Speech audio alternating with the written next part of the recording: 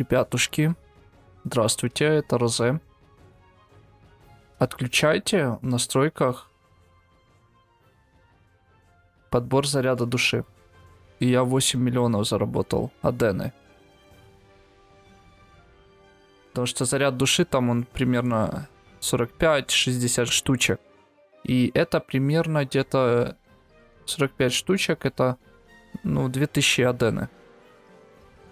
А антикварная вещь за одну штучку 5000 адены. Ну, разница есть большая. Ну, конечно, можно и солшотики собирать, но профитнее, конечно, антикварную вещь. Просто за день с двух ивентов можно собрать до 17 лямов. Ну, судя по вот обедний ивент и вечерний ивент можно посмотреть будет, конечно. Еще есть смысл. Спелый арбуз. Не спелый арбуз, арбузная семечка, заряд души, сияющая антикварная вещь. Сияющая антикварная вещь именно спелого арбуза падает.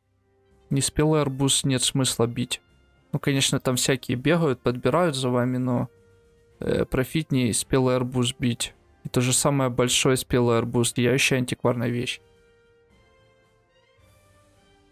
Если вам информация помогла, ставьте лайк, подписывайтесь на канал. С вами был Розе.